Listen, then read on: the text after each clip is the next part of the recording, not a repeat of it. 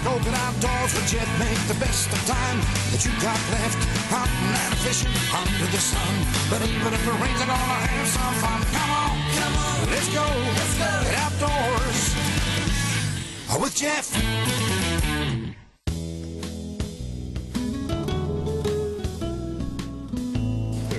When visiting the Rathmoy Pheasant Preserve on the Rangitikei River near Feilding, we saw some of the best gun dogs in the country at work. It was the annual North Island Spaniel Field Trial Championships, and it's a real pleasure seeing such well-trained dogs doing the business. The object is to pick up the scent of a bird and put it up for the gun well within shooting range. Many things can go wrong when you're dealing with wily birds like pheasants, and it takes a top performance to win. The dogs and handlers work as a team together, and the close bond between a person and the dog is clear to see.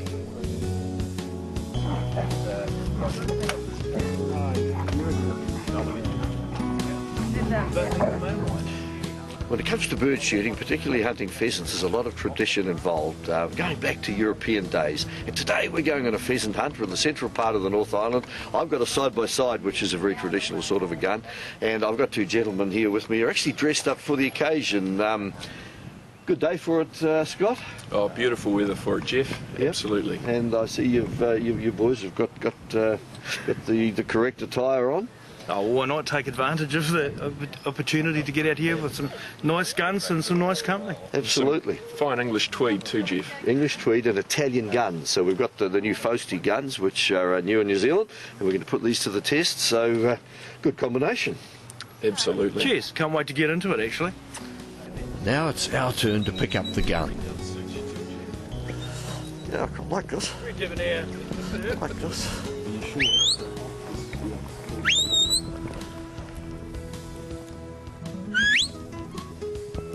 We're not shooting driven birds today, but it's what we call walk-up shooting. We follow the dogs, and you have to be ready for a bird to flush at any moment.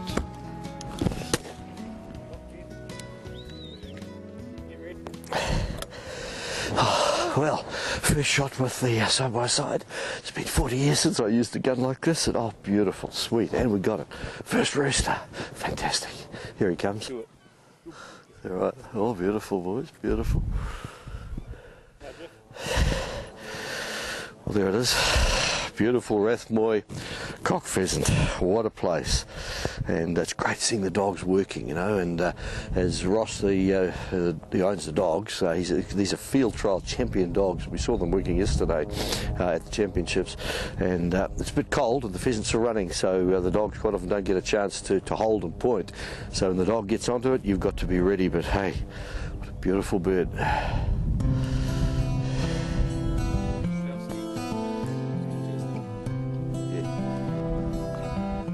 The morning shoot was pretty quiet, but the exercise was welcome, and now our host, Mark Grace, has a real surprise in store for lunch.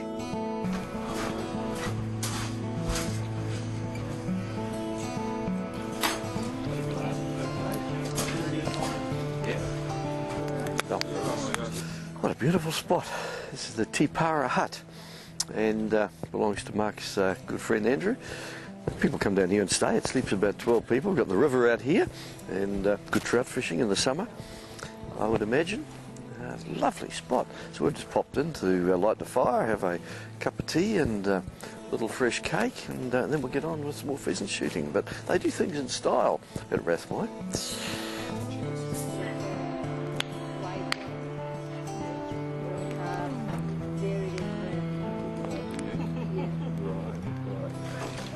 Part of the Rathmoy pheasant shooting experience. Uh, Mark, just pop into the bush. Here, we've got a fire going, a cup of tea, fresh cake. Hey, right, fresh scones. Look after the troops. Oh, beautiful. Yep. No, we, we, get the coffee boiling in a second and uh, then we'll get back into it. You yeah. betcha.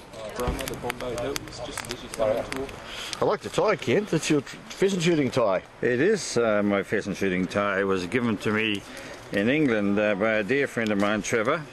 Uh, who said we've got to have the right tie to go pheasant shooting with.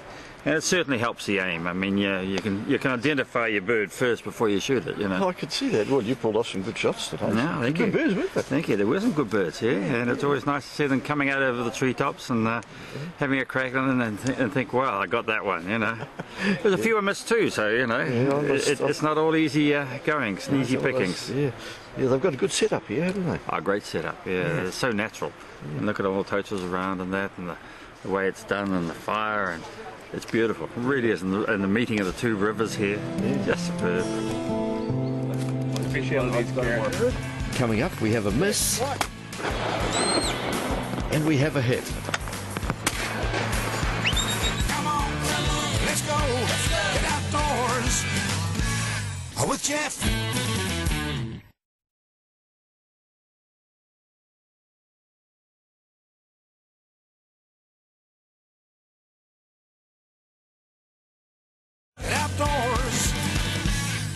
With Geoff. Oh, really? Brilliant. I was reading. he's, he's come on then. Yeah, he's still hopeless, but yeah, he's coming on. Get in, George. Get in. We're now going to hunt along the riverbank, and the lupins are always prime cover for the birds. It's been raining most of the morning, and pheasants actually don't like getting wet, so they don't move around, which makes it hard for the dogs to pick up a scent.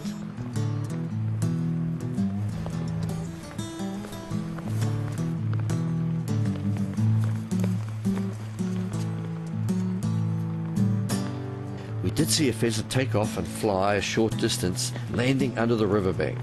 It's always exciting when you know there's a bird there, but you don't know where it's going to get up. The important thing is to always be aware of where the other shooters are, which is why we walk in a line, and where the dog handlers are. There, right. Good dog. Who's there? Sorry. Well, that's exciting. hey, missed it, missed it. You know, missed the odd one, Geoffrey. Yeah, bird went in here and uh, dog put it up, shot down through the river. Oh, oh, very exciting. Okay, be another one.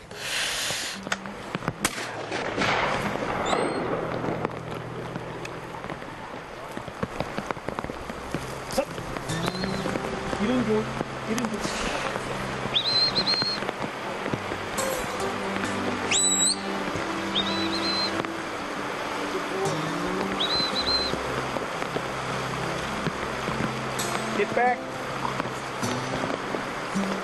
Good girl. There.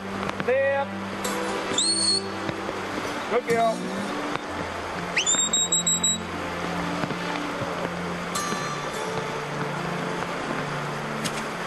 Good girl. Come up here away from the current, good? Yeah. Up here. Joy. Joy.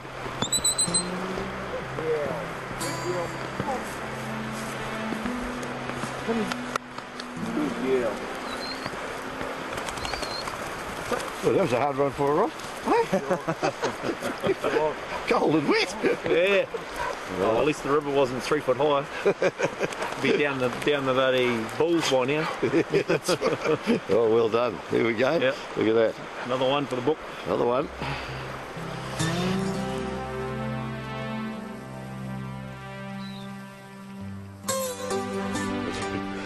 Crop in here, It looks like chou moellier for the cattle and pheasants always love that sort of cover. It's a little bit wet from the rain, which has just stopped, so that might put them off a bit, but the dogs then go through the crop.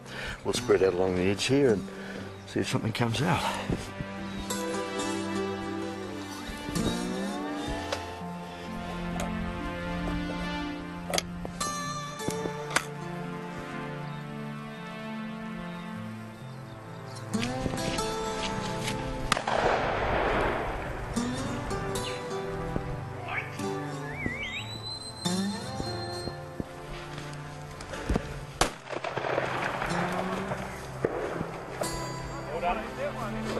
Is that a feather duster? Well, pretty exciting when you know the bird's there and, and it's really, you don't get any better shots than that, Geoffrey. Easier. Still, makes up for the hard ones that we miss. Thank you very much, uh, Mark. That was well done, mate. You always look after your customers like that. Doesn't get any better than that. Good boy. Good boy. Good. So, Mark, this is really something. I've done it all around the country, and this has got to be one of the uh, best operations I've seen. I've never seen so many birds as there were yesterday around the, around the lodge. Wouldn't let me shoot at the lodge. We, we had to come and walk through the bush.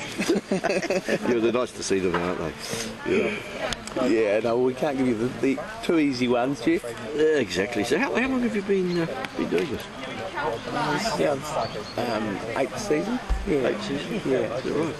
So, uh, what, what, why did you get into? I mean, it's not easy producing pheasants for guns. And, No, um, got into it uh, as a passion. I think, um, yeah, no, I used to rear pheasants and partridges as a, as a young fella, and um, um, I mean, come home from overseas, and, and um, I think uh, the uh, the idea of being stuck on the farm dagging sheep forever.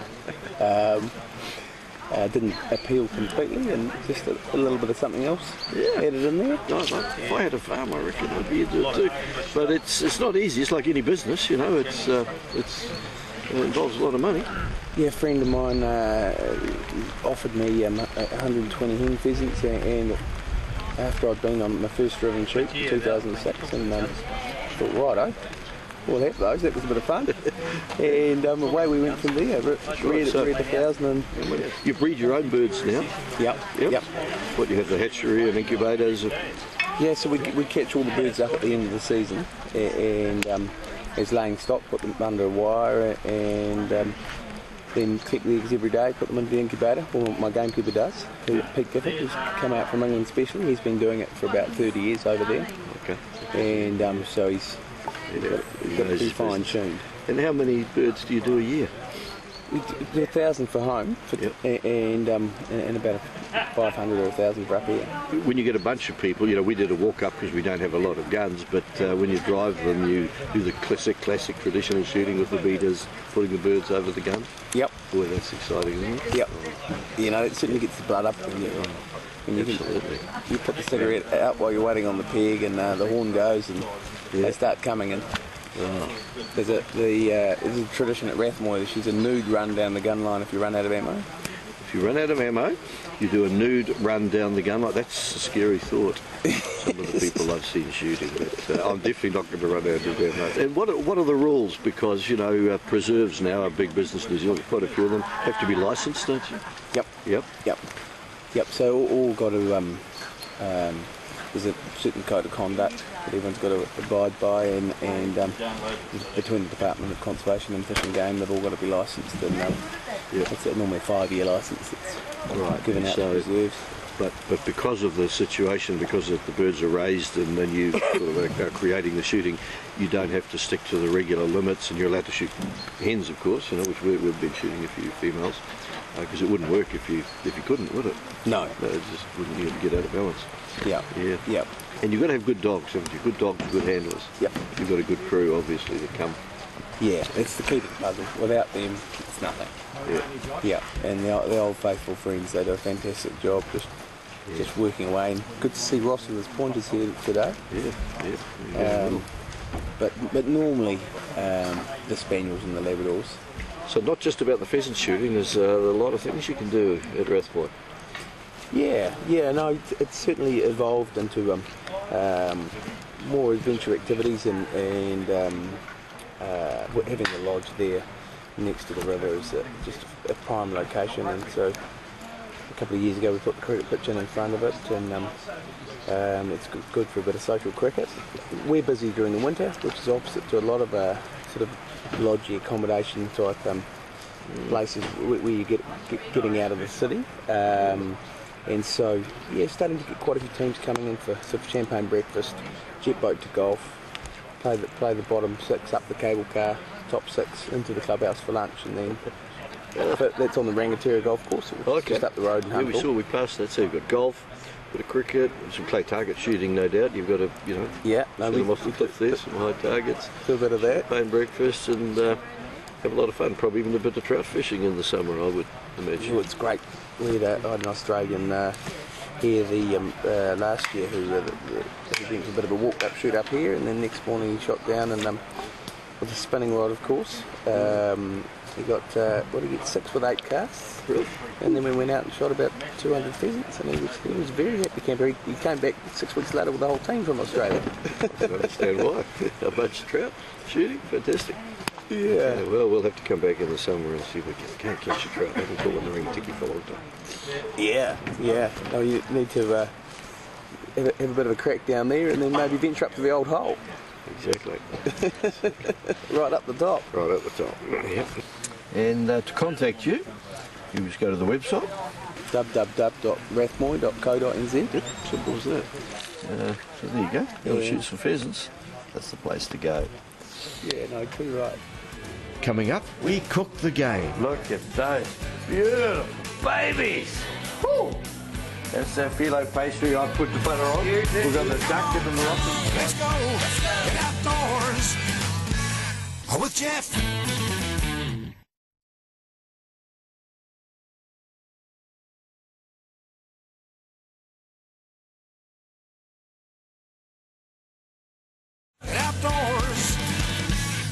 With Geoff.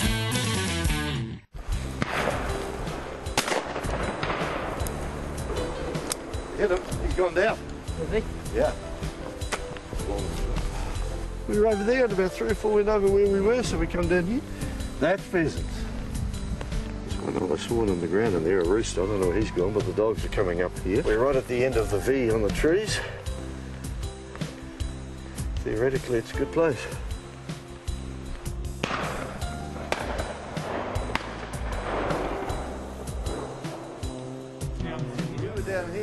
Pheasants all came out when the sun came out, but we've got enough birds for everybody to take a couple home. And now we're going to see how an expert cooks the birds, and this time it's wild duck on the menu.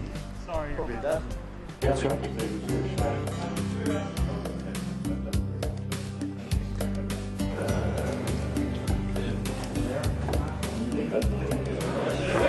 having a party over there, getting excited about the shooting tomorrow. But Scott and I are doing the business, and I tell you what, looks like we're going camping here, mate. We've got the, we've got the camp cooker. We have indeed. Yep, Ken Cooker. Um, I'm from Palmerston North, and, and I'm not sure of the cooking arrangements here. So just bring this as a bit of a bit of a safety thing. And it's gas. It's very controllable when we cook in a commercial kitchen. We like to cook with gas. So anyway, on with it. We've got a bit of um, got a hot pan. Put a little bit of oil into it. It's our fennel. It's our cumin. It's our coriander. And guys, just. I don't want to burn them, so I'm going to get some onions in there. Yep. Okay, I'm going to saute those off quickly. The carrot in there, sweat that off so that it um, goes sort of translucent. We want to add a little bit of sweetness as well. We've got a little bit of port wine jelly there. We've got some chopped up prunes. We've got some apples with the skin on and some pear with the skin off. It's, it is game, it's a bit rustic and that sort of really all adds to the flavour. Okay, so we're going to fire into there our pear, apple, prunes, port wine jelly and we'll stir that round, just let them sort of sweat off a little bit. The Boys are going to enjoy the game dinners at Geoffrey's place afterwards. So we just let that to, to, to cook away now, simmer probably probably 10 minutes or so, just so that the, the apples are cooked and all the, all the vegetables are cooked and the flavours are, are really mingling really, really well. All right, we've reduced that a bit, cooked it up for about 10 minutes. And the duck goes in. Duck goes in, now we just stir it around and let the duck act like a sponge and soak up all that extra moisture in there. And then we'll um, put it onto a tray, into it, back into the bowl, put it in the fridge, cool it down, wrap it in phyllo pastry, bake it in the oven for 15 minutes. There you have it. Right, our duck uh, spicy mixture is nice and cool. It's cool. So we're just going to wrap it in phyllo pastry. Pretty simple. Two, two sheets of phyllo, amount of filling, about 100 grams of, of, or so of, of filling, which is using my iotrometer, I can tell you that's around about 100 grams. Okay, in the centre, because it's a very rich meat, you don't need too much of it. Once again, That's how you put the butter on. fold it tight, but not too tight, because if it's too tight, it'll burst. And last of all, just put a little brush across the top there. A little extra bit of love, a little bit of pepper, sesame seeds, poppy seeds, whatever you Something like. like that, and then in the oven. And in Uh, the oven 15 minutes or so, so it's nice and golden brown, Yep. and there you have it. Nice. Yeah, Babies! That's the filo pastry I put the butter on. You did, We've got the duck and the Moroccan spices in there. Yep, yep, good on you. Is that alright, people? You enjoy it? Outdoors with Geoff. Well, our tip this week, we're going to talk about the guns we've been using today, and uh, very successfully most of the time. Uh, I love this side by side. I love this, uh, Brian. It's a lovely gun. I love using that gun. It is, isn't it? No, it's like going back in time for me. And uh, tell me about it. Well, that's a, a Fausti style. Um, it comes in a couple of variations. One thing about Fausti, they're very good at making um, sub gauges. That's where they've made a lot of their business out of. So we can get this in a 12 gauge, 20 gauge, right the way down to 410. that Some of the extra models have gold inlay. Yeah. Just to bling it up a wee bit, but it's a beautiful gun to use. And for snap shooting like this today, it's fantastic. Oh, it's done very well. And what what were you using, Scott? Uh, today, Geoff, I was using the uh, Class SL. So um, Brian's using the Class. Um, the SL version has the side plate on it, so they can do a little bit more engraving and that type of thing. Yeah. Yeah. And uh, you like you shot well with yours, Brian. No, I love it. The- They just for field guns, they're really great. I mean, as you said with the side by side or the over and under, they shoot exactly the same. So if you're used to one, you can be used to the other. It will come up nicely for you. So my problem's going to be which one to use now. Our sponsors help us catch the fish and hunt the game. For all your hot water needs, go to rheem.co.nz or see your local plumbing merchant. Next week, we visit the lovely island of Niue for a fishing contest with a difference.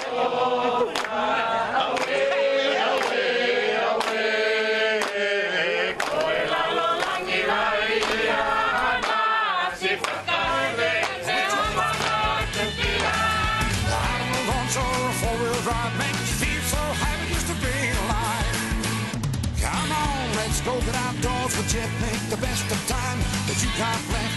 Hunting and fishing under the sun. But even if it rains, I'm gonna have some fun. Come on, come on, let's go, let's go get outdoors oh, with Geoff.